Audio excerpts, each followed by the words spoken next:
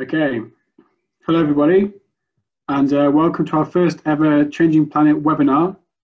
Uh, as always, this, um, this webinar has been organised by students from the Science and Solutions for a Changing Planet Doctoral Training Partnership at Imperial College London. Uh, this event is being recorded and the video will be shared with participants and on social media uh, soon after the event. The seminar today is being given by Miss Linnea Luuppala, a doctoral candidate in social and moral philosophy at the University of Helsinki and a former Grantham Institute staff member. Lynn's going to start her seminar soon, but first I just want to go through some features of uh, Zoom and some other things for the seminar. I know some of you might be familiar with Zoom already, so um, please just be patient with, uh, with this, just, just while we go through it. Uh, firstly, I've muted um, all participants to allow uh, to avoid the disruption disruption in the seminar today. So if I can ask you to keep yourself muted, uh, and also if you keep your videos off during the seminar. If you wish to ask a question uh, during the event, you can either send your question directly to me on the chat function, and I can ask it on your behalf in the sort of first Q&A, or you can wait until the end of the seminar, and I'll unmute you so you can uh, ask it yourself. Um, I've set the chat so the messages only be sent to the hosts, which is me and the speaker. So just you type your question in the chat box and press enter, and it will come through to us, and I'll kind of go through them during the seminar. So, so send them at any point. Um, please state your name, your affiliation, and your location ahead of the question. Uh, if you're okay for me to say this to the audience, and keep your questions, you know, on the brief side if possible. Um, if you want to give any seminar, any feedback during the seminar, you can either use the uh, participants tab buttons to give us a thumbs up or thumbs down, or you can send longer feedback uh, to me in the chat, like I say.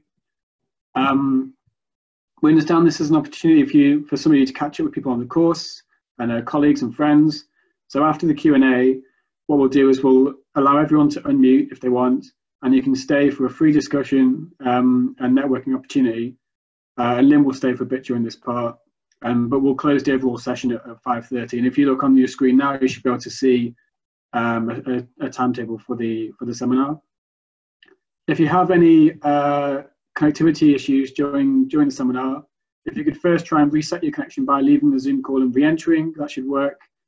Um, but if that doesn't work, you still have connection issues, then send me a message in the chat and that'll help me know if this is the kind of wider issue which we need to find some kind of fix for. And, and finally, if you're tweeting about the event and want to share your thoughts, you can use the hashtag ecoethics, which again is on the slide you should see. And you can tag the Grantham Institute and Lynn. You can see their uh, details on the slide as well. Um, and also, I'll, I'll paste the relevant details into the chat in a minute. Uh, we always like to see kind of a good, a good photo, even if we can't hold our events in person, we can still you know, share, share what we're doing. Um, a reminder for anyone who missed the start, uh, that this event is being recorded and the video will be shared with everyone soon and on the Grantham Institute's uh, social media in the, next few days. And uh, that's all from me. So I'll, I'll, share this information in the chat for everyone who missed any of it. And, uh, and I'll now pass it over to Lynn. I hope everyone enjoys, enjoys the event. Sorry, just a quick reminder, everyone, if, you, if um, you could turn your video off and everyone should be muted, um, just so that we can kind of get, get it flowing smoothly. So I'll hand over to Lynn now. Thanks, Lynn. Uh, thank you. Thank you very much, Chris, for the introduction and hello to everyone. Uh, thank you so much for tuning in, especially during this very difficult time. I hope you are all well and safe. So I know that my title, uh, oh yeah, uh, let me just change. So I know my title, oh, Chris, do you know why I have this squiggle on my screen? Um, I, I don't know why you have this good on your screen. Maybe you have to go out of presentation mode and go in again. You might have done Yeah, I'm going to stop share. So, sorry about that. No worries.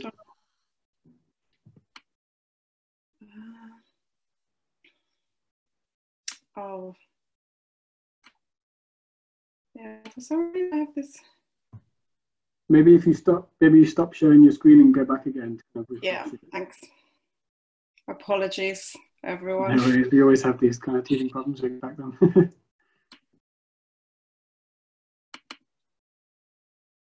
oh, there we go. Oh, there we go. Apologies about that.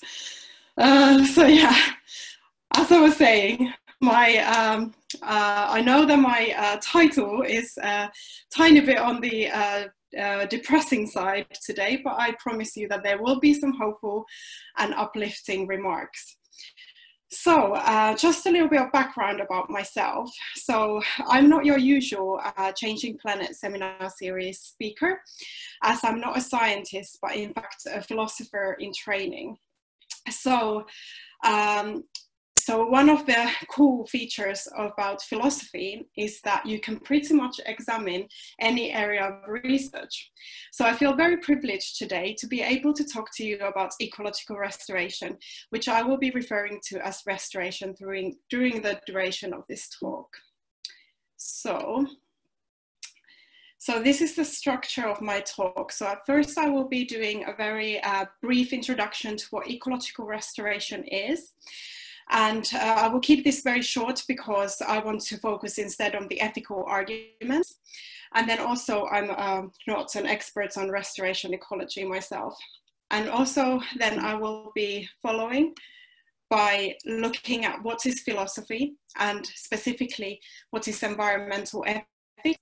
And then I will be exploring the moral landscape of ecological restoration, which I will be doing through the moral garden of a forked path, which I hope will illuminate some of the many of the ethical arguments that lie within restoration. So uh, reports we've heard like reports after report how the about the devastating state of our current environment. And this is by uh, not i'm sure not news to many uh, any of you. But even though it's not a great time for nature it is quite an exciting time for restoration at the moment. So one of the most recent uh, developments was in the beginning of 2019, the UN declared the UN Decade of Ecosystem Restoration, uh, spanning from 2021 to the year 2030. And this is a huge global initiative that aims to prevent, and reverse the degradation of ecosystems worldwide, worldwide as it's stated by its tagline. So this decade corresponds to the 2 billion hectares that have been identified as being in a degraded state and in the need for and in the need and suitable for restoration. So ecological restoration has been defined by Society for Ecological Restoration as the process of assisting the recovery of an ecosystem that has been degraded, damaged, or destroyed. And finding this kind of universal definition for something as complex as restoration can be very demanding. However, I believe that this uh, definition has been very widely uh, used by practitioners. So this is the definition that I will be adopting here in this, in this presentation. So restoration projects can vary uh, by quite a lot. So they can be these very small, local, small-scale projects to these absolutely huge and massive restoration projects, like the one you can see in the slide at the moment, which is the restoration of the Kissimmee River um, a restoration of the Everglades National Park, which is part of an even bigger restoration project uh, called the Comprehensive Restoration Plan. And this is a multi-billion billion dollar project. So in the before before photo, uh, that's on the left hand side, you can nicely see the kind of uh, original natural state of the system. Whereas in the before photo, in the middle, you can see the degraded state and the uh, altered state by humans where we have attempted to straighten the river. And in the after shot, you can nicely see what restoration, the restoration attempts to do is to restore the system back to its original condition, return, returning the beautiful meandering curves of the river. So, so when I first started putting together this presentation, I typed into Google philosophy is, and this is basically the search suggestions that came up. So I kind of feel like I need to justify myself a little bit here. So even outside the uh, Google search engine, I quite often find that not that many people, not everyone always knows what philosophy is. So I'm going to spend a little bit of time exploring and explaining just so that we're all on the same page. So philosophy is one of those deceptively simple yet extremely elusive concepts. So most of us do have a basic idea of what philosophy is, but it can be very challenging to actually pin down the kind of core and core essence of what philosophy actually is. So one of the potential issues uh, why philosophy has this slightly bad rep might be that um, nicely demonstrated in this quotation from Robert Zend, a writer and poet, where he writes that being a philosopher, I have a problem for every solution. So this kind of understanding of philosophers as problem engineers might be one of the reasons behind this ne slightly negative um, uh, Google searches.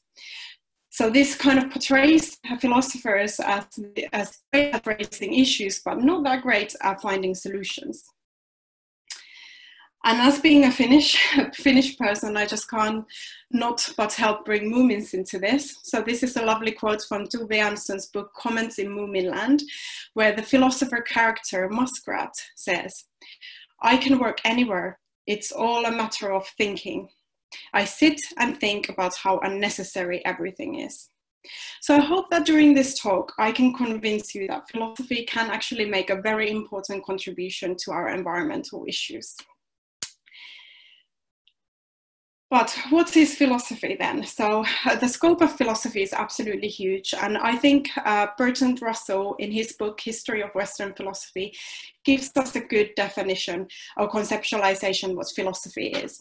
So he writes, philosophy, as I shall understand the word, is something intermediate between theology and science, a no man's land, uh, uh, exposed to attack from both sides, Almost all the questions of most interest to speculative minds are such as science cannot answer, and the confident answers of theologians no longer seem so convincing as they did in former centuries. So, so as I see philosophy, philosophy is this, this, this kind of art of critical thinking and this ability to not only ask but focus on the right type of questions. So philosophy then is kind of can be divided divided into these four main branches of philosophy, which are metaphysics, which is research into the very reality of, uh, very nature of reality, or uh, epistemology, which is the area of philosophy that's focused on theory of knowledge. Value theory, which is the study of principles and values, which is the area that and the context of this talk today, and logic, which is the study of reasoning. And all of these studies obviously overlap, so these do not always neatly go into one category or another. But because these fundamental questions can be asked of almost anything, philosophy's uh, scope potentially becomes absolutely huge because we have these applied areas of philosophy, of which I am talking to you about today, which is environmental philosophy, which is one of them. So, um, so I hope that uh, when if we remind ourselves of some of the critical quotes we I mentioned earlier, so one of the key aims of philosophy is actually to provide um, practical force, which which is ultimately what philosophy is trying to do is to guide our theoretical thinking and also human action in the world. So hopefully I will be able to um, bring some practical force too. So, whoops. So what about environmental ethics then? So compared to the very long history of uh, philosophy, which spans all the way to ancient Greece, environmental ethics is relatively new area of philosophy, which has started to form in the early 1970s. So environmental philosophy analyzes a whole host of issues that emerge from the relationship and interactions between humans and the non-human nature. And the key question that opens the door to environmental, environmental ethics is why nature or natural entities have been kept outside our moral realm and theorizing. So to put some of the key issues of um, to, to key aims of environmental philosophy, uh, environmental ethics tries to, and this is a quote, provide us with a language with effective arguments whereby we can claim that some kinds of actions are right or wrong, or at least better or worse, independent, independently of their of their cultural or legal context. And end of quote. And this is a quote from Andrew Light and Rolston, or Holmes Rolston. And the second aim of environmental philosophy is to evaluate the scope of evaluate the scope of ethics and and as some environmental ethicists claim, the arbitrary preference to human interest and human issues that have, have dominated philosophy. So much of the work environmental ethics then is devoted to expanding the area of our moral concern to also include non-human uh, entities. So if we then move on to the moral landscape of ecological restoration. So what I'm sketching here is not an exhaustive map of what the landscape actually looks like, but I hope it will display the moral variety of restoration and the importance of thinking about these issues ethically. So some might disagree a little bit the way I've been uh, mapping them, but that's partly because it's quite difficult to map these theories uh, neatly into a, into a simplified map. So what I'm illustrating in this in what I'm il illustrating, I'm using, um, uh, my illustration is basically inspired by this short story by the by uh, Jorge Luis Borges. Apologies for my horrendous pronunciation, which is called the Garden of Forking Paths. So I'm just taking this very basic idea of the Garden of Forking Paths, but I won't actually. Uh, that's where all the similarities end. So what I aim to show is how the decisions that we take with restoration will commit us to certain paths uh, with some specific ethical consequences. So what I hope that this example will tease, tease out and demonstrate is the range of ethical implications that emerge from the practice of restoration and when we go uh, beyond the scientific narrative. So here's the list uh, of some conceptualizations and arguments that have been put forward by philosophers and ecologists about ecological restoration. And, and this is, uh, I've only included the ones that actually include some sort of uh, philosophical or moral dimension. So I'm only going to be able to focus on some of these uh, theories and arguments. Uh, unfortunately, due to time constraints, I won't be able to explore all of them. But I hope that this kind of list demonstrates the, the huge moral ground that there is to cover with restoration. So let's start our virtual journey through this moral garden of forking paths. So our starting point is the degraded, damaged or destroyed natural area. And of course, the details of how the damage occurred, by whom, etc., all matters to our ethical evaluation. However, I will keep this um, very abstract and very broad um, so that we can explore as many examples as possible.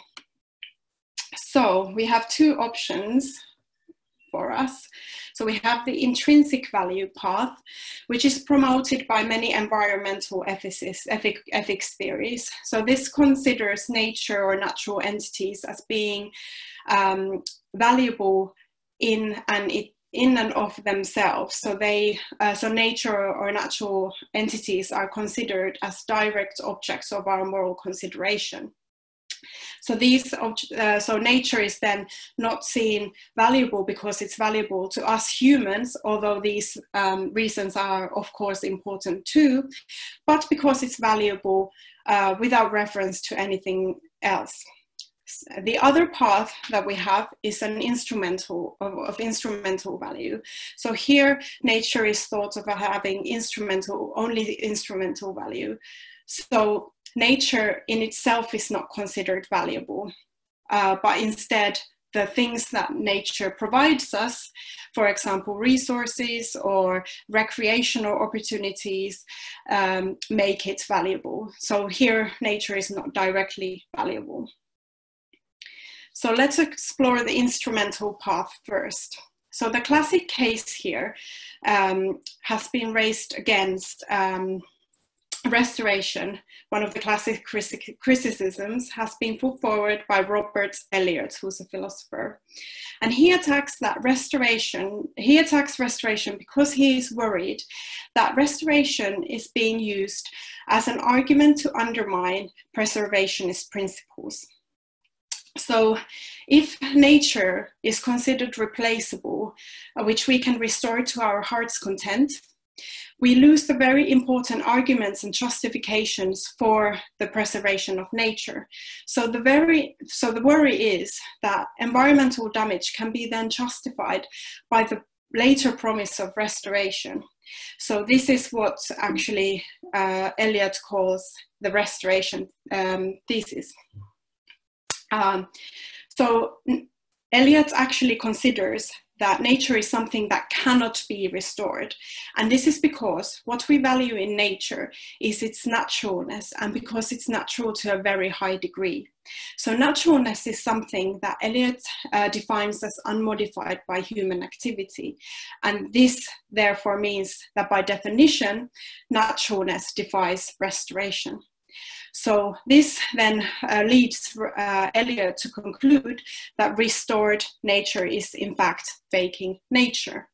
And he examine, explores or illustrates this uh, in more depth with an example of an art forgery. So let's, uh, I'll use my own example of, of this. So in the same way that history and genesis of a famous painting affects our evaluations of it, history and genesis matters when we value nature. So if we illustrate with an example of uh, the painting Mona Lisa. So this paint, Mona Lisa was painted by Leonardo da Vinci himself with these specific artistic um, styles, with a specific strokes that uh, Da Vinci decided to take in the political and cultural environment uh, in which he, and the historical context in which he lived. And all of these important, all of this information then adds up to the value of the painting of Mona Lisa. So let's imagine now that we go into Louvre uh, to see Mona Lisa. And what we find out that what they actually have up there is not Mona Lisa at all, but an exact replica. And in the same way as an exact replica of Mona Lisa being a fake, Elliot argues that so is restored landscape. And I'm sure, like, if we went to, we wouldn't see these massive queues in front of um, Mona Lisa as I saw when I went to see it myself, if it was uh, the uh, a fake that's up there. So let's continue with art's forgery example. So what I think is ultimately behind many of these criticisms that so many environmental philosophers, philosophers have, have made against restoration is this idea that restorations actually look like this. So this is, if you're unaware, is Mr. Bean's attempt to restore the famous painting of Whistler's mother in the film um, which was uh, create the the original painting was created by James McNeill Whistler. So here the problem is that when humans try and restore nature, we leave a clear human mark that is inferior to the original, even though an untrained eye we might not be able to see this, but this mark still exists. And another problem is that this mark necessarily devalues the original or and as in some cases, as uh, for example, um, Eric Higgs argues, completely destroys the value of the original. So then I want to go to the next path, which has been explored by the philosopher Eric Higgs, which is called the technological restoration. Unfortunately, I won't have enough time to go into the full details of this uh, theory because it gets quite complicated as it goes into Albert Borgmann's uh, theory of philosophy of uh, technology. But I hope that even a simplified version will bring out these important aspects of uh, technological restoration. So technological restoration is this highly professional and technological type of restoration. So it's this uh, non-inclusive and it's a restoration that is geared toward efficiency. So it's this like hyper corporate way of environmental management. So as Higgs writes, um, under technological restoration, and this is a quote, ecosystems could be rebuilt or fixed without increasingly costly commitments to environmental protection. Uh, end of quote. And many of in, in technological restoration, many of the meaningful human nature encounters have been stripped away. So the one of the worries that technological restoration might lead to free, freak landscapes. And freak landscapes are these regions that have been extensively altered from their original natural state. And the very big worry is that um, technological restoration might lead, might lead to hyperreality. So let me ex uh, explore hyperreality with an example. So Higgs and her, his colleague Jennifer Cypher wanted to understand what would lie at the very extreme end of technological restoration. And the example they came up with is Disney's Wilderness Lodge. So hyperreality is this term again borrowed from philosopher Albert Borgmann, who argues that reality in this highly technological setting gives way to hyperreality, which is a kind of reality that is detached from their, from their direct experience and context with the world. So, wilderness, uh, Disney's Wilderness Lodge is a great example of this complete transformation of a place that is inspired by human, human ideals of nature and wilderness. So, uh, if you're unaware, the Disney's Wilderness Lodge is located in uh, Orlando, Florida, US. It's one of the 13 themed luxury Disney resorts. And, it, and the lodge uh, in itself appears to have been built from stone and wood, but the reality is something quite different because it's all made, made out of uh, mold, carefully molded concrete that has been painted. Even the rocks outside have made from molded concrete, where all the lichen, the stains, the moss have been carefully painted so that they would look realistic. And the centerpiece of the park is uh, in the center is this fire rock geyser, which isn't actually a real geyser at all, but it is a water theater that erupts like clockwork every hour. It's basically this natural wonder that you don't have to wait for. So nothing, nothing in this uh, lodge is as it first seems. So the outcome is a hyper reality which provides Disney's customers with this tamed sense of wilderness experience without any mud, any hassle, any danger. So, what Disney is doing with its Wilderness Lodge is that what Higgs and Cypher describe the colonization of imagination. And the worry is that Disney's version, if Disney's version of nature becomes the primary reference for our experiences in nature and not the other way around, that's when we are in real trouble, according to Higgs. So this is particularly troubling as Higgs highlights that when you really think about it, Disney's Wilderness Lodge actually doesn't have anything to do with nature or wilderness at all. It's all about what humans want and desire. So these are the two types of restoration I will look at in the instrumental side. There are other two that I unfortunately was unable to look at. However, the take home message is that the instrumental path completely ignores many of the ethical arguments have been raised about, by environmental ethicists that could lead to some quite devastating outcomes as we saw hyperreality pathway. So we then go to to, to the intrinsic side. So here Higgs also Higgs also uh, presents a positive account of restoration, which he calls focal restoration. So focal restoration resists the pathway towards technological restoration because it centers on reality and local participation and relies on what Higgs calls focal practices. So, focal practices are these interconnections between a person, a thing, and the environment. So, they require a lot of attention that are aimed towards learning, usually learning a skill that can be developed, leading to competence and excellence. And these practices can then end up producing focal things. So, focal things are these things that we really value. So, for example, learning to play a musical instrument or cooking could potentially be good examples of focal practices. So focal practices and focal things then lead to this kind of meaningful engagement with the world. So Higgs sees restoration as a potential type of focal practice. So according to Higgs, focality then is an antidote towards the technological restoration route, which is caused by the commodification of nature by technological restora- that technological restoration pathway leads to. So what would the focal restoration then look like?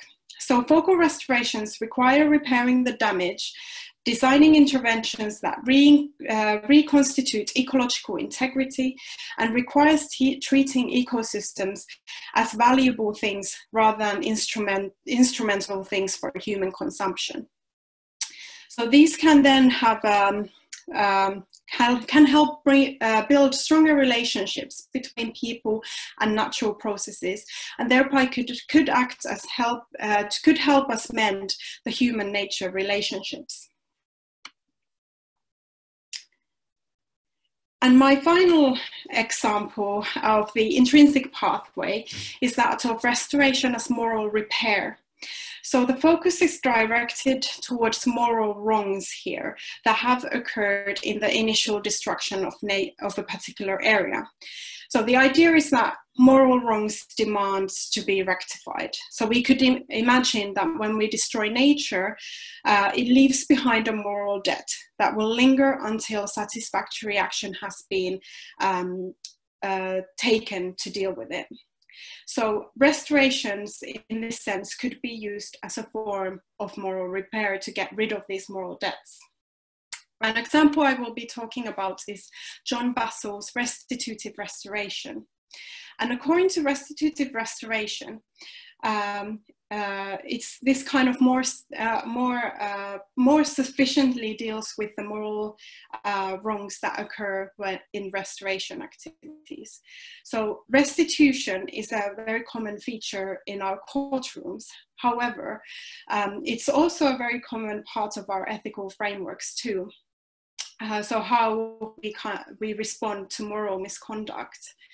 So Basl defines restitution, and this is a quote, as the act of making right in response to making wrong, end of quote. So restoration could serve as a form of restitution as long as restoration has what he calls a remediative requirement. So it is not enough that we simply compensate for the damage, but we must also ensure that the moral wrong is not repeated again. So the remediative requirements kind of uh, tackles this issue of character dispositions of the person who have co committed the harm and the grounding reasons why the harm happened in the first place. So let me illustrate this with an example um, uh, that I've kind of made made up by inspired by John Basl's examples. So here we have uh, Nige and then we have Jessica. And here's Jessica's house. And then Nige sets fire to Jessica's house. And here, this is clearly Nige's fault. However, Nige being a good guy, knowing how to undo the harm, he will compensate Jessica by rebuilding Jessica a new house. Everything has been nice, done and dusted. However, he sets the Jessica's house on fire again and it's clearly, again, Nige's fault. However, Nige, being a good guy, apparently, he will rebuild the house again. So the compensation has been done. Um, so everything's good. However, he sets the fire back again, again being his fault. And this kind of um, pattern continues. So there's clearly something wrong with Nige. So specifically in a moral sense. So Nige has satisfied the requirement to repay Jessica. However, the remediative requirement in this example has not been satisfied. So here Basl refocuses our attention from the actual wrongdoing to the wrongdoer. So this move allows our attention to focus on Nige's dispositions, habits, and outlook. And if a moral wrong is continuously repeated, it will most likely arrive not from the, uh, from the given circumstances, but actually from something much deeper within the agent. So attention must therefore be paid to the wrongdoer's character dispositions that are causing the wrongdoing in the first place. So here we have the other positive accounts that I was unable to explore. And what my PhD is trying to do basically is I am trying to create a moral framework for restoration that would pretend uh, that could provide some guidance on how restoration could be conducted in a way that avoids um, the, the many criticisms that environmental philosophers have raised, the ones that we we saw on the intrinsic value side. So a lot of my work happens on this, uh, and, sorry, instrumental side, um, where all the um, criticisms happened. So a lot of my work actually focuses on the intrinsic value side. So, uh, and one thing I've been focusing on recently um, is this thing called what I've termed rights-based restoration, which focuses on the idea of rights of nature and seeing how whether having if we considered that nature had moral rights how this would actually affect our restoration practices. However, however this is very much in work in progress so i won't go into detail. Um, and here we have it, the moral landscape of restor ecological restoration. So I hope I've managed to show the different uh, forms that restoration might take depending on the pathway we choose to travel. So a lot of um, the ethical uh, uh, side of the restoration debate has focused on how much and what kind of human inter intervention is appropriate and gaining a kind of better understanding of the ethical consequences that ecological restoration might have. And even though environmental ethics has been quite critical of restoration, it is uh, deep down rooted in this worry that restoration will ignore these important intrinsic values of nature. And when, we, uh, when nature is seen as a mere source of instrumental values, um, we often struggle to see the structures of domination and uh, structures of destruction and domination that's going on uh, at the background that has made uh, restoration such an important tool for environmental management. So the decade of ecosystem restoration that UN has started, or uh, will be starting next year, is a result of these broken relationships that humans have with nature. So I'm hopeful that restoration uh, as restoration is developing as a field, it would provide some room to include these important ethical findings to make restoration more meaningful, valuable, and sustainable practice, both ecologically and ethically speaking. So I just want to conclude with a lovely quote from Aldo Leopold, who's uh, the father of um, ecological restoration and very incidentally the father of uh, environmental ethics or actually one of the founding fathers of environmental ethics. So he writes, I have read many definitions of what is a conservationist and written not a few myself, but I suspect uh, that the best one is written not with a pen, but with an axe. It is a matter of what man thinks while about while uh, thinks about while chopping or while deciding what to chop a conservationist is one who is humbly aware that with each stroke he is writing his signature on the face of his land. Uh, thank you very much for listening and I very much look forward to their questions.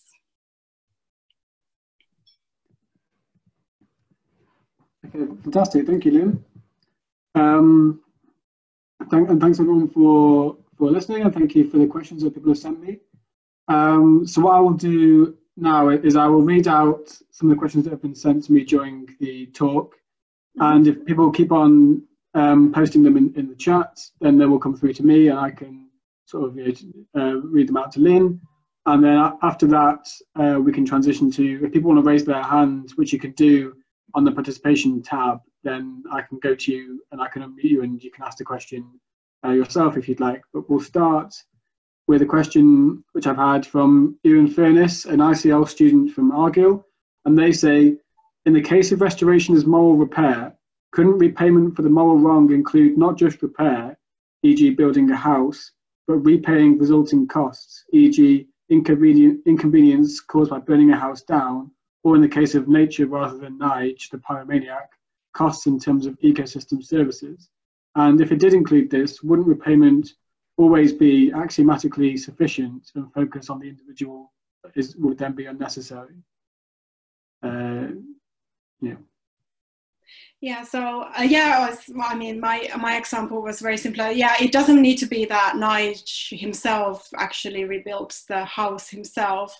So it can be uh, like, for example, um, giving the uh, appropriate amount of money to Jessica to rebuild the house. It doesn't really matter how the yeah the repayment can be done in many ways. It doesn't always necessarily mean that if I obviously like in the if we take a um, real world example, obviously, I am responsible towards a lot of environmental damage uh, indirectly. So it's not always doesn't mean that I have to go in and uh, do some restoration work in Africa, for example. So I could, for example, donate some money towards charity and help towards this restoration work this way. So the means aren't necessarily that important. Uh, they are important, but they are definitely um, uh, it can be sufficient to uh, to um, to abide by the reparative requirement by a whole host of different ways.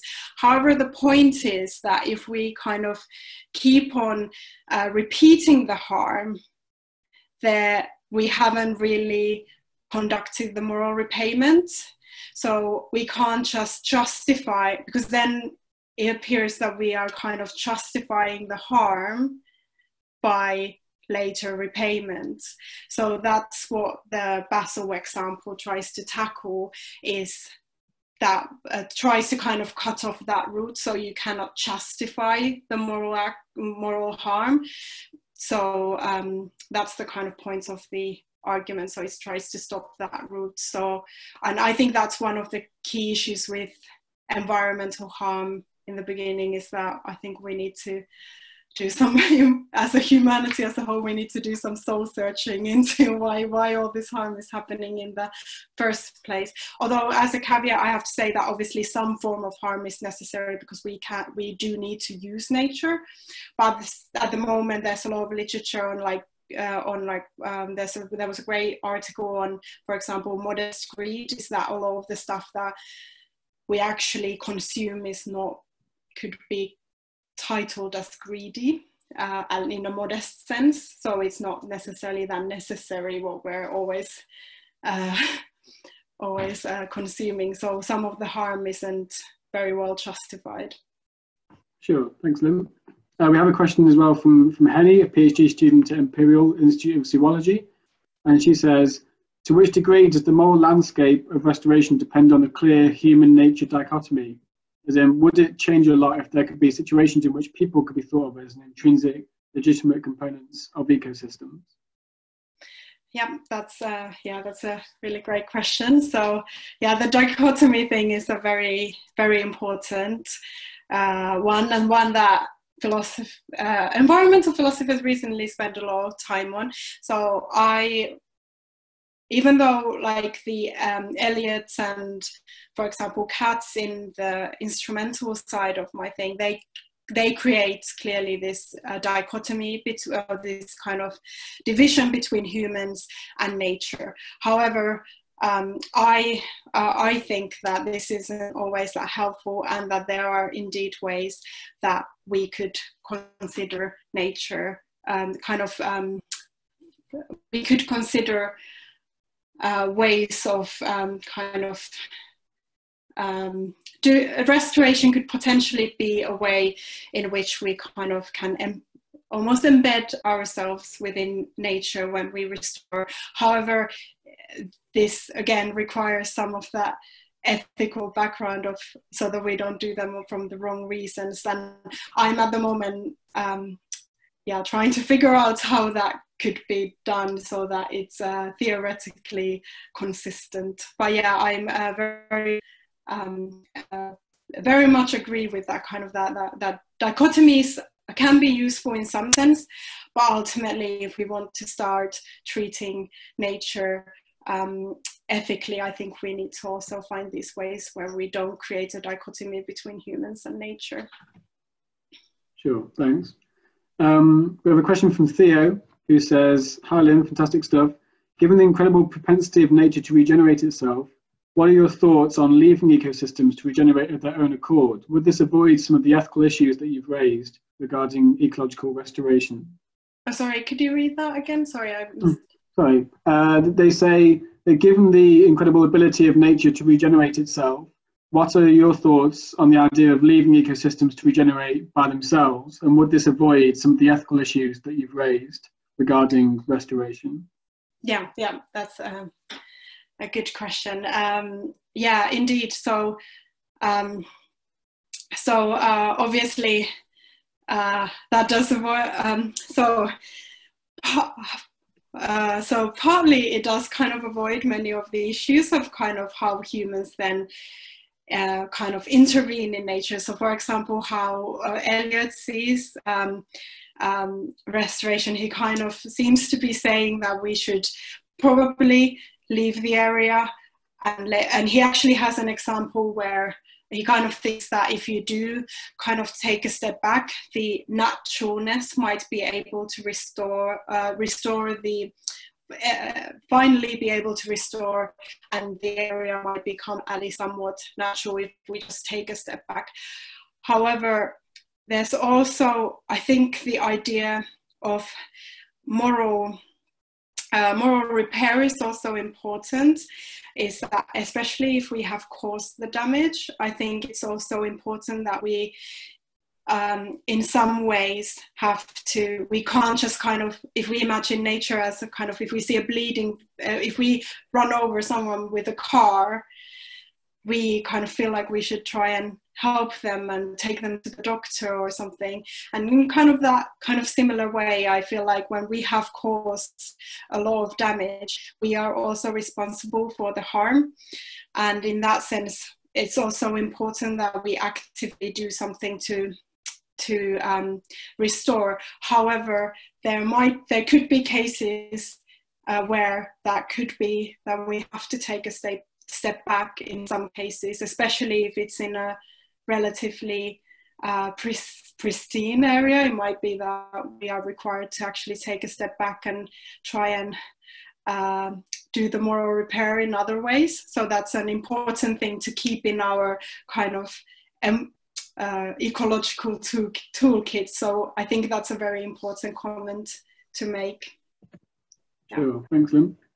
Um, we have a question someone asks, would you be able to go into a little bit more detail about what a, rights, a rights-based approach to nature would look like? As in, would this be an extension of animal rights to see intrinsic rights of life to trees and other ecosystems? yeah so uh, one of the reasons i kept that very brief is because i'm currently it's still under construction so i have changed my mind several times so i've been um, but but yeah so basically it's um, kind of expanding uh, the moral rights arguments to include nature. And i would there kind of um, I don't necessarily uh, in the in the thing I'm more my main focus is to look at how it would affect the praxis of restoration.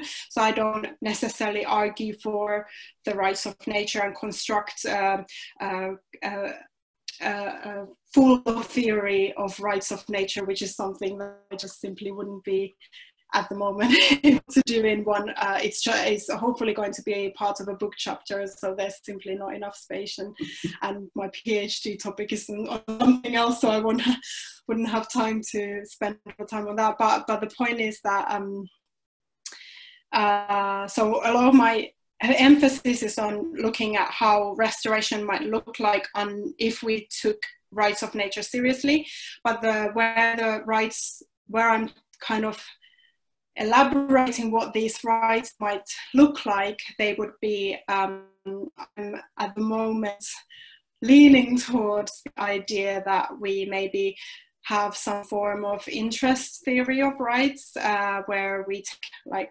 interest of nature seriously so interest so the rights are based on that we can consider that nature has interests and in a holistic sense because we're talking about restoration i think the, the rights needs to be holistic in a sense that they are um, uh, they are rooted in either ecological integrity or e- ecosystem health or something like that. I'm still kind of figuring that out, so I won't be able to give a full answer at the moment. Sure, yeah, no worries. Thanks.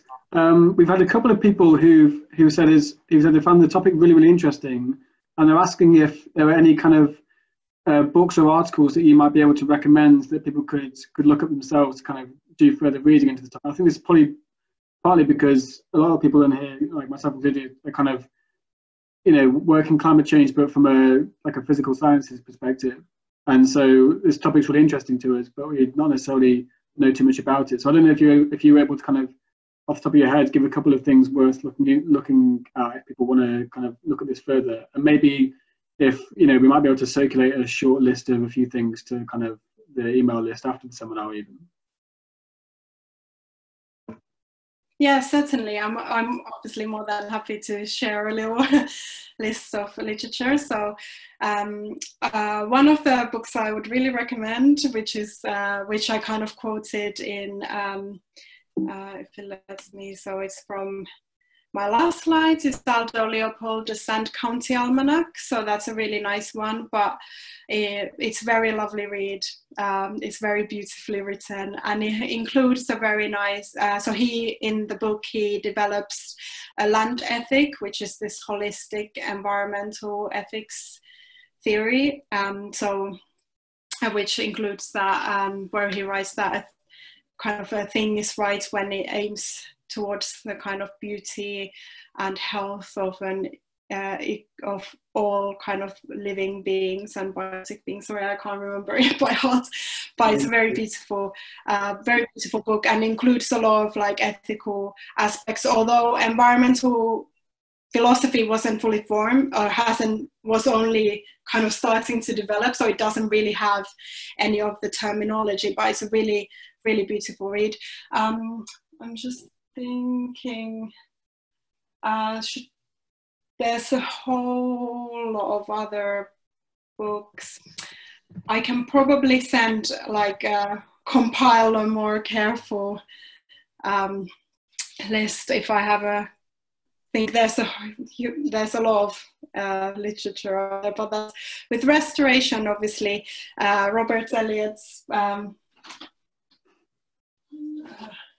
uh, faking nature is very nice if you're interested in the moral uh, arguments of um, of so the original um, are, are uh, the, the arguments that I used here in this presentation were from an article that he wrote, but this is a kind of whole book version of him elaborating on ecological restoration. And here he actually tiles down a little bit his view so he's not quite as critical as he is in that ar- initial ar- article that I referenced in this presentation. But he, this includes a lot of ethical, um, of the ethical arguments quite nicely.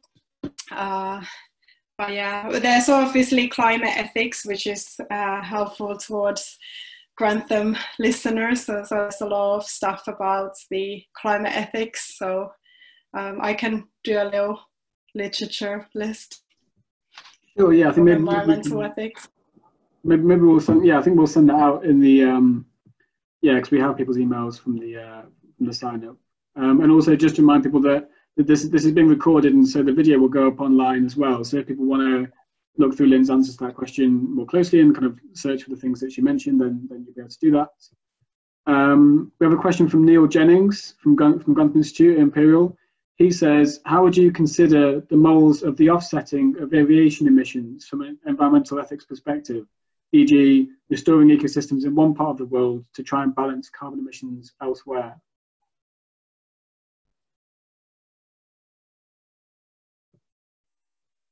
Yeah, so that's um, that's a, great question. So that's obviously the main kind of uh, area under a lot of attack from environmental philosophy perspective because if we consider that nature actually has intrinsic value, you cannot really, or it will become quite difficult to justify that kind of uh, mitigation efforts where you can suddenly destroy areas somewhere and then um, find somewhere of, of equal ecological value and then compensate by either restoring area there. So that becomes quite challenging because if the area in itself is intrinsically valuable then you should really be allowed doing stuff like that. So i think that's actually one of the key worries with ecological restoration because you could potentially justify this or you could destroy uh, an intact fairly uh, pristine um, uh, uh, forest, for example, and use it to uh, for human resources that we obviously also need, but then uh, say that is okay because we're just going to go to this other place somewhere else and just restore the same, um, restore a new forest in this area. And I think that becomes quite challenging to justify. And that's kind of the whole point of these ethical arguments where, where uh, ethical, the importance of ethical arguments kind of arise where I think it's important that even though potentially could be justified if the needs the needs of humans to do that would need to be significantly great, I think, in order for us to allow such mitigations.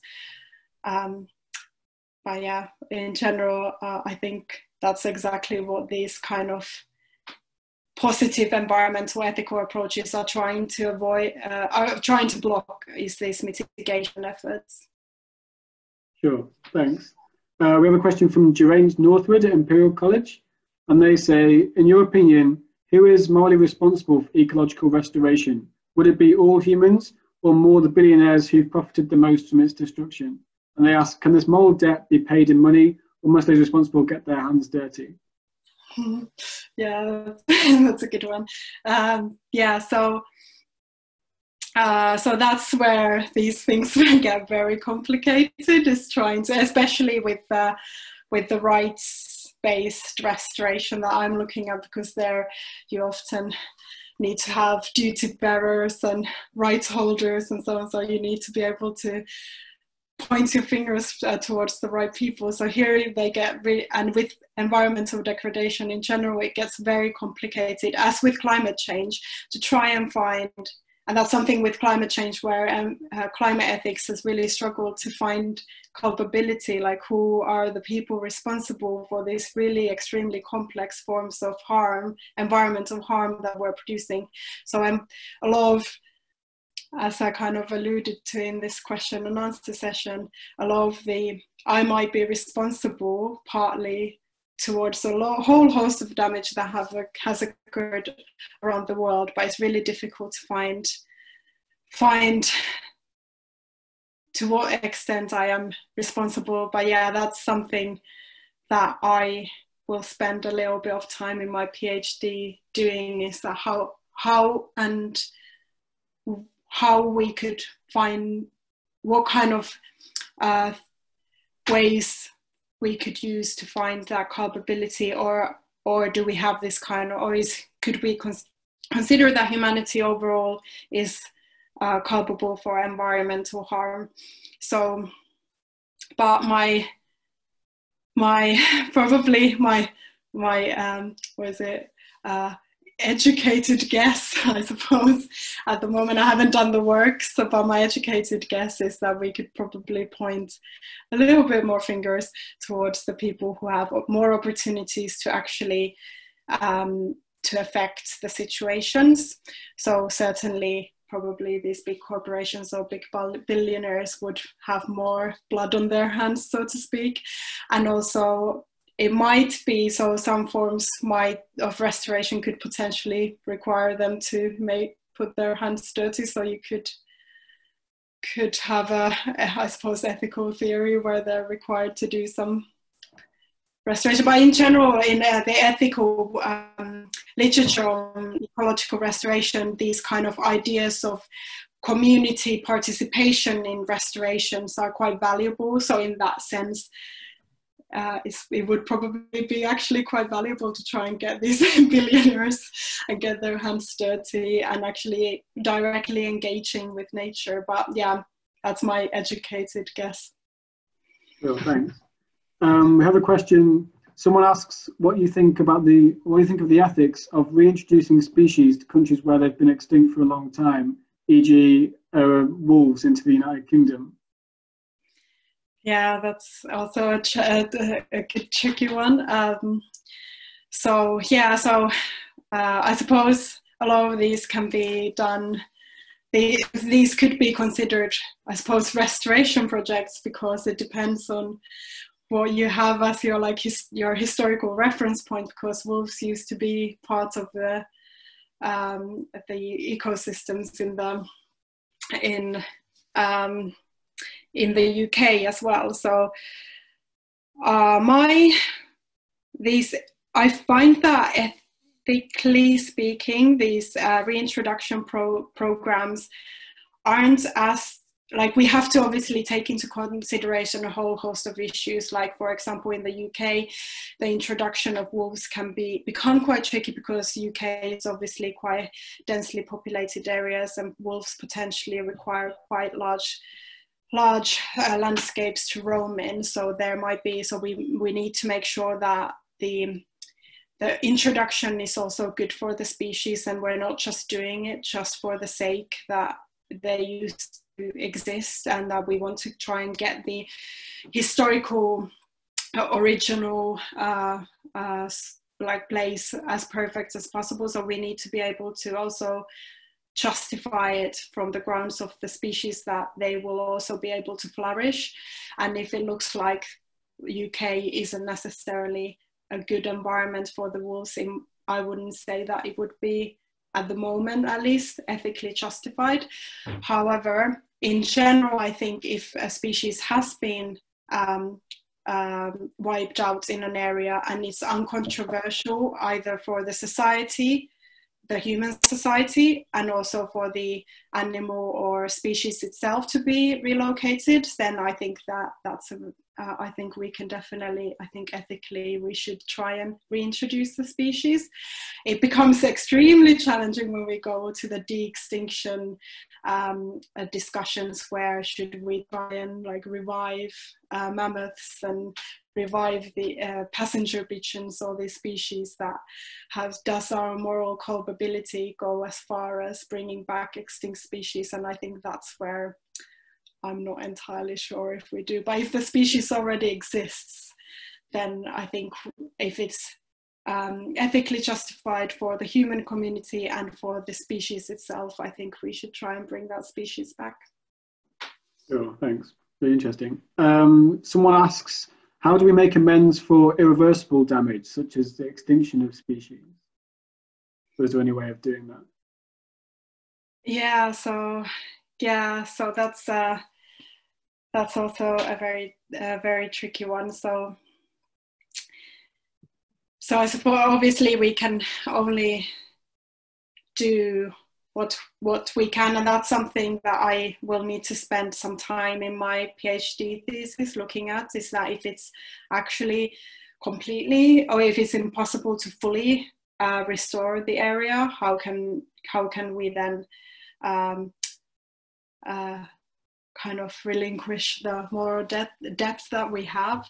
Um, but there, I think we definitely have to do what we can. And uh, and for example, I think we need to, my again, educate. I haven't done all the work yet, so some of these will be educated guesses. But I think if we are unable to fully restore, um, then we have to probably try and uh, kind of um, take some other environmentally positive actions to try and compensate the things that we were unable to do with our initial restoration, for example.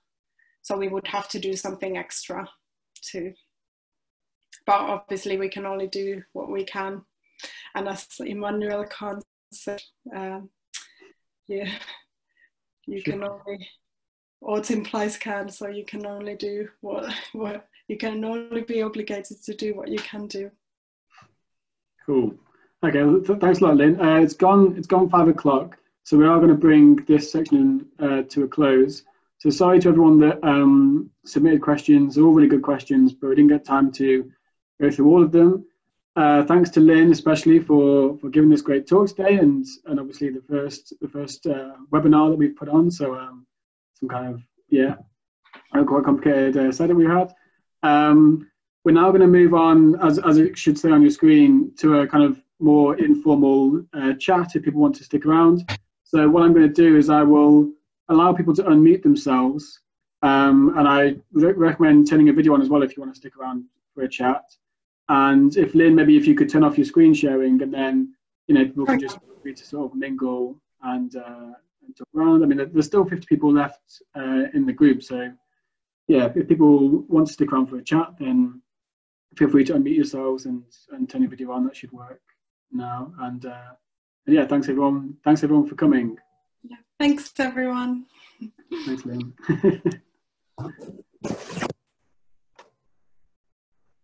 Uh, thank you for the talk. I, I, don't seem to be able to open my video, uh, but never mind. Uh, thank you very much for the talk. Very interesting. Um, I wasn't sure what to expect. Um, I'm an artist at the RCA who's um, working with waste and degraded materials, but I'm very interested in the whole thing. And having seen the subject matter, I thought I, I wasn't sure what approach you were going to take, but that was mm. very anyway. Thank you. Ah, thank you. Thank you very much. Thank you. Thanks. I really appreciate it. yeah, with philosophy, you never know what you're going to get, I suppose. well, it, no, it's interesting. No. I wasn't sure what angle you were going to take, but that, that's very interesting. Thank you. Yeah, I'm. Uh, if if and, and in case it was unclear um, to anyone, I'm I'm I am positive towards ecological restoration, but I think we have to be careful in how we conduct it. So mm-hmm. I'm broadly positive. I think we need to find positive ways that we can uh, interact with nature, and I think in with positive um, in in the right ways, we can ecological restoration can certainly be that positive way. Yeah, Yes, I agree. Yes, thank you. I don't know why my video, I'm sorry, uh, you can't see me, can you? I'm sorry. Okay. I don't seem to be able to make it work.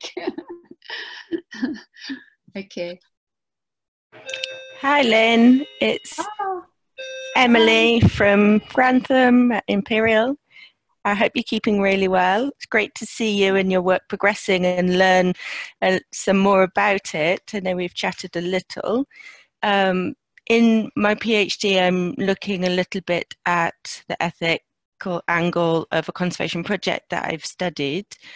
And um, so, I mean, I have so many questions. I'm going to have to limit myself to one because otherwise it's not fair on everyone else. But um, the one I wanted to talk about was the trade offs because in undertaking some restoration projects, it could be that some rights users or um, other elements of the ecosystem, whether you count people as part of the ecosystem or not, either way, um, they can be affected or one species might be excluded, so rats being excluded from, if you're restoring Macquarie Island, bird populations or something, we have some value judgments about who has the right to be present in a restored project. The one I'm thinking of is marine protected areas, where often what happens might be that the and terrestrial protected areas, the traditional fishers of that area may be excluded temporarily or permanently from fishing in an area to allow restoration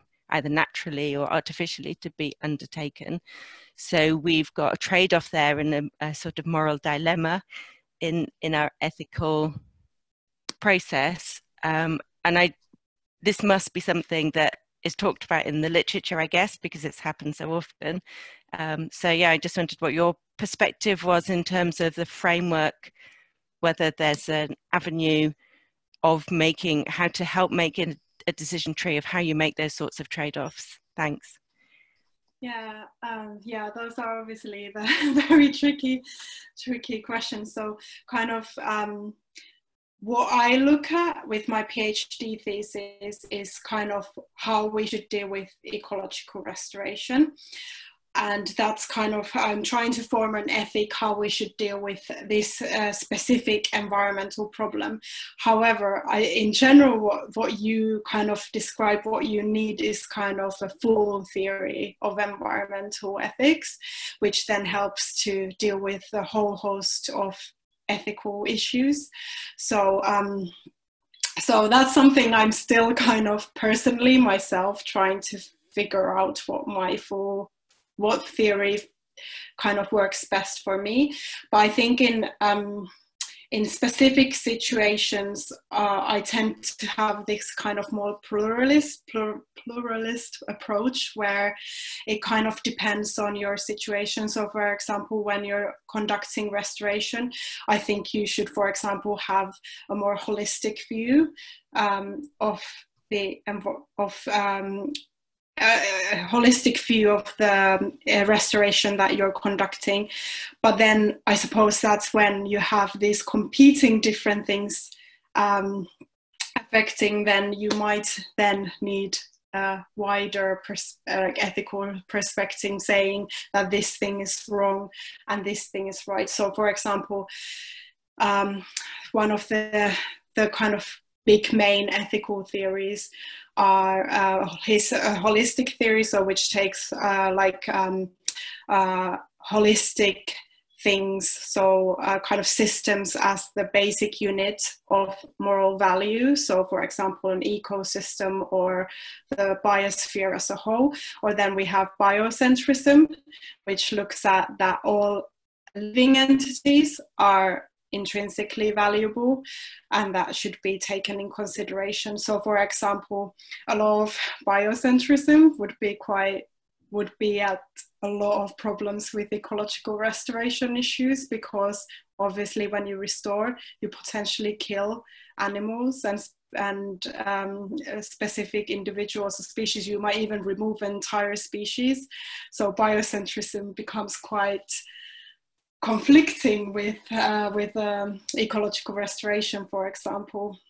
But those kind of broader ethical philosophical theories would then give you an answer to your to your problem. So it depends on kind of what theory you then prescribe to. Personally, I think I'm a bit more of a I think I'm leaning towards a pluralist that we need a specific theory for a specific problem. But yeah, I'm still kind of dabbling, but yeah, on that. Uh, but I don't know. Sorry, I don't have a full answer yet. I'm still figuring that out more myself. yeah, that's great. Thanks. But yeah, you might. Well, yeah, if you want to have some help with that, you might want to look at the different ethical theories that there that there are, and they then give more specific answers to these kind of trade-off problems because they put the what things are of of particular importance have specific value and then you can't kind of at least you try need to try and not override those. And it depends on the ethical theory. But there might be some that work that that, that are then close to what your kind of your thinking and that can give you those good um, guidelines on how what actions are morally right from that uh, perspective But I think I, I, yeah I'm a bit between because I think all individual animals and all individual things are valuable, but then at the same time I tend to have this clearly quite holistic view as well that I think we can we need to consider ecosystems for example as a whole. So I'm kind of in between these two and I don't quite know how to which takes precedence basically. And I'm kind of feeling more towards the holistic side that we need to take care of the the, holi- the holistic system first before we can focus then on the individuals. But that is not to say that the individual animals and individual things aren't important, but that the holistic issues are more important as a whole and should take precedence.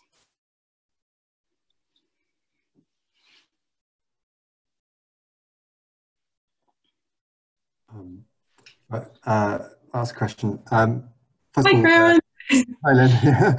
uh, thanks for the talk. It was great. It's good to see you again. Yeah, lovely to see all of you. Um, I was just wondering, um, so in particularly with regard to the systems that give um, nature an intrinsic value, um, if and how they sort of separate the human, you know, humans being part of nature, um, and you know, under some views, nothing, nothing that we do, even now, necessarily being separate to nature. Um, is that valued, and how do you sort of say, well, this part of nature being, you know, this this pristine wilderness is valuable, but it's less valuable now that humans interacted, and how much do you say, well, that's just another part of the natural process, and, and I don't know if that makes sense, but yeah, I think I think I know what, what you mean. So just yeah, stop me if I'm uh, not answering your question. But yeah, so that's one thing I've been kind of uh, another of these issues that I've been doubling with myself. So, so we kind of have this I understanding. So we have na- so nature is a really frustrating concept. um, so uh, the, the the basic way that we kind of tend to understand nature is through these Mill's, two different definitions of nature. So there's either nature uh, as opposed to um, super supernatural. So basically everything is natural. So humans, our uh, you know factories, everything's natural. Or then nature as opposed to artifactual.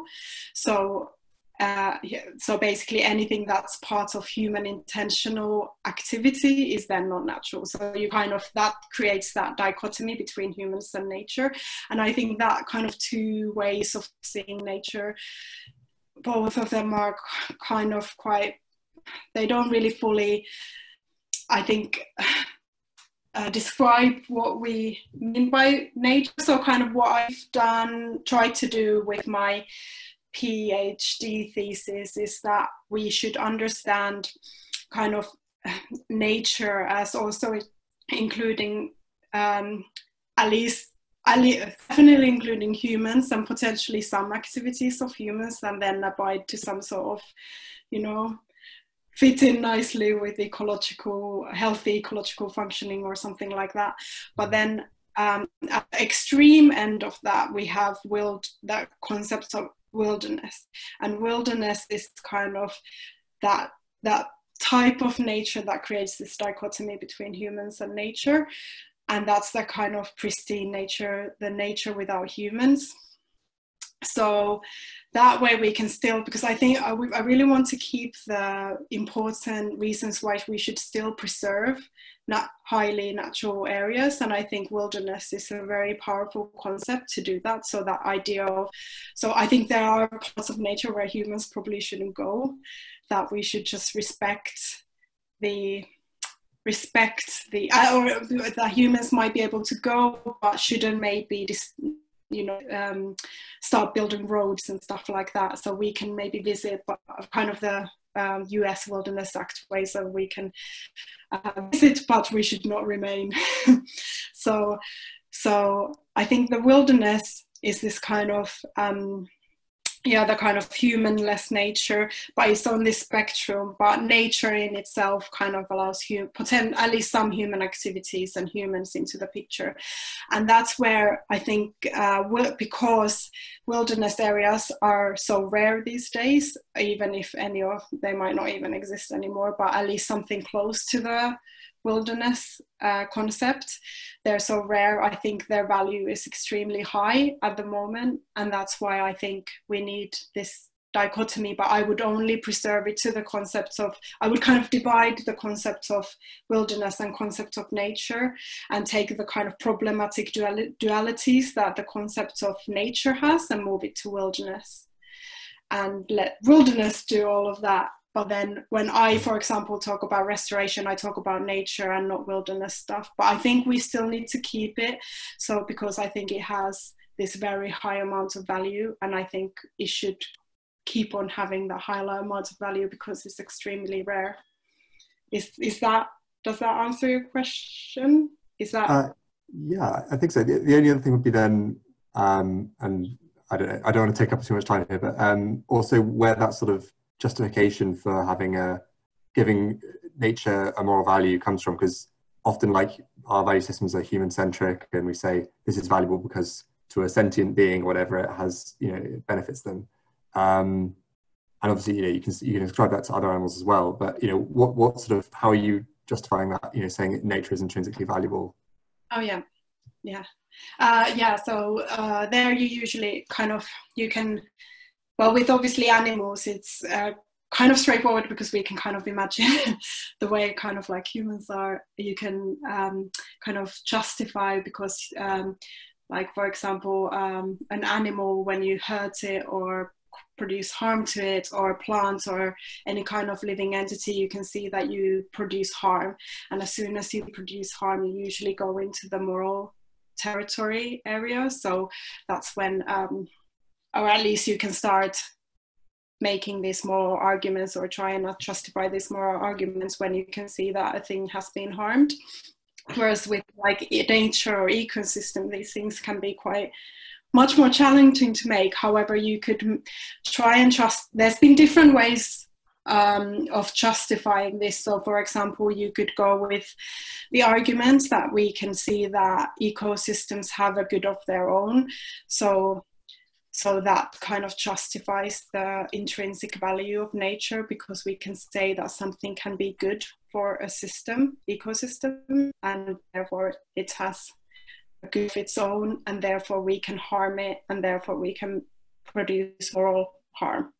Or you can justify it by, for example, some people claim that it's flourishing of ecosystems, so that um, put the moral value in the flourishing or health you could.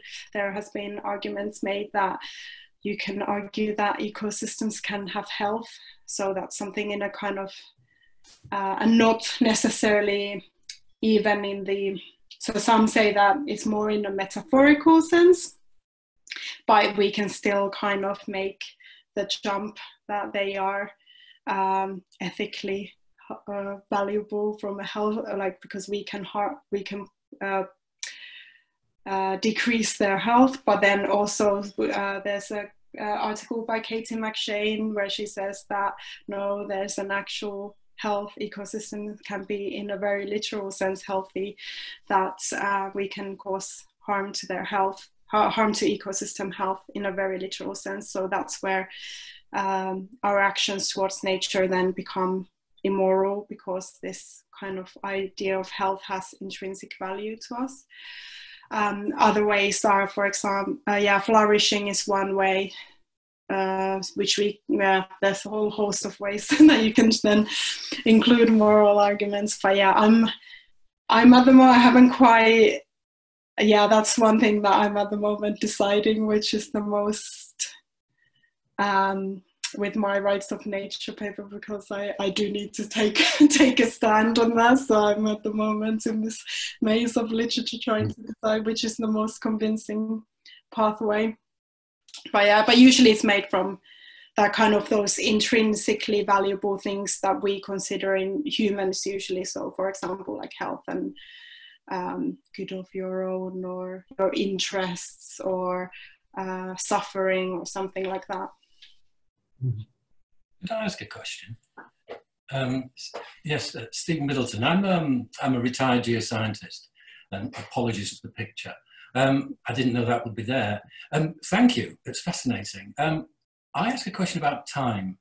Mm-hmm. How morally value the time that's been lost with respect to the composite of damage, and how and whether you should value it, and in which direction, Who, you know, and, and how much. Do you mean? Oh, well, you lose. Time is loss. Mm-hmm. Yeah. An ecosystem's destroyed. That's a loss of time. And the yeah. implication I have is how do you value that morally and, uh, uh, and in other ways? And in which direction do you, does the value go? And oddly, should it be us that's being owed nature that we've lost? In- mm. Yeah, yeah. Yeah, that's a really interesting one. I've, I have to say, this is the first time that this has come up. I don't think that, I, I, at least to my, what I've read so far, the time question, the time question in the sense of time lost. I don't think, I'm not sure if that's. I'll add to it as well. There is a timing yeah. aspect that the loss can be greater or less in respect to the timing of the ecosystem loss. So there is time yeah. and timing. Yeah, yeah, yeah. That's really fascinating. I have to, yeah, that's something I definitely need to yeah think about. That's really really good question. Like there's obviously in the literature there's obviously discussions over time and like what time do you then restore the like in what time in the past do you kind of try and restore the systems of there's discussions like that but there's I, I don't think I've seen anything with regards to like trying to compensate for the time that has been lost. And the last thing is time scale. That the yeah. elements of the ecosystem have different time scales. So yeah. for its period of destruction, it's relevant to some and not others. Mm. Time frame. So there's interesting time as a a measure of value in nature is multidimensional to me. Sorry, I'm I'm slightly wandering. Yeah, yeah, that's really you, fascinating. Thank you. That's really with this um, event. Yeah, I have to. Yeah, I have to. I have to admit that I don't have a good answer for you at the moment because you've. Uh, yeah, I haven't uh, actually thought about it from this perspective. So thank you very much for raising the issue. This is something I definitely need to uh-huh. do some a lot of thinking about. Okay, thank you. I think it can certainly. I can see yeah, that it could have. Great, it's more, but I don't think you'd want that. And it's certainly, I think the time's run out. The mm. time is a critical aspect of nature. Mm. Un, um, if, un, is, mis- is, is missed. It's not even misunderstood. It's just not counted. Mm. So many yeah. ways. Yeah. Yeah. I need to look into this. Yeah, certainly. I, I can't answer you at the other moment, but I need to look into this. Thank you very much. All right, thank you. I thought maybe I might ask. There's a question that we didn't get around to asking in the chat from um, Krista from the DTP, I think is left now. Um, but they, they asked if it's ethically wrong to assign the monetary values to, to the conservation of nature. Sorry, if it's ethically. If it's ethically wrong or right to assign a monetary value or a price to the conservation of nature itself.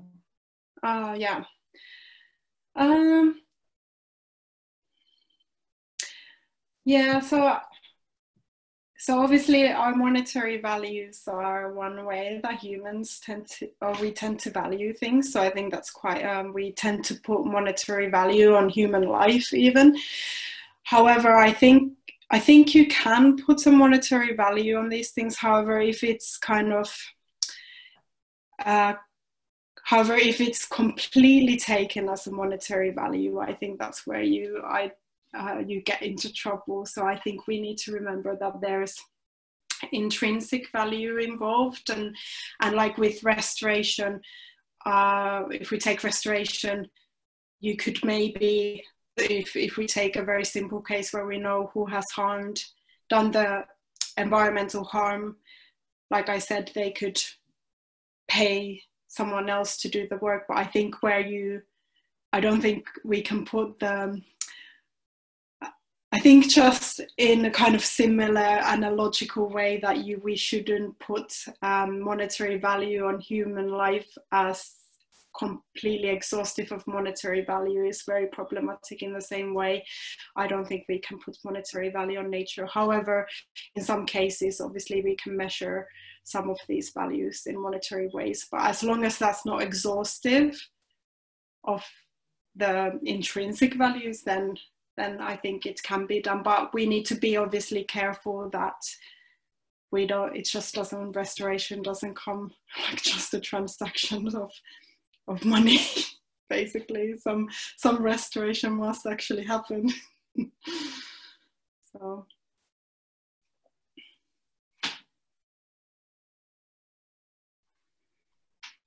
Sure. Yeah. Thank you. Um, if no one has kind of more questions and stuff, feel free to yeah, mute yourself and um, and chat. But it's almost half five, so I think maybe just like if, if anyone else wants to say anything, yeah, briefly ask a quick question. Then otherwise we can um, we can leave it there.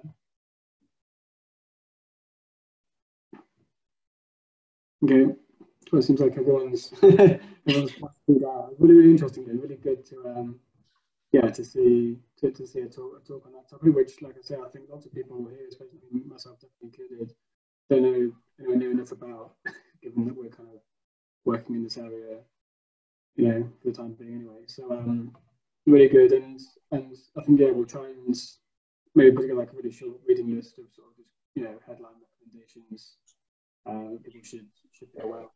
Can I thank you, Chris? Again, yeah. this is the first one I've come to on this, and um, I'd say you, you've done a great job because without you, things get unstuck. Um, and um, and also the the, the, the, talk. And your voice has gone a little bit muffly. So in the last block of time, you've gone more muffly than you were before. Otherwise, I won't say any more. But thank everybody. thank, you, Stephen.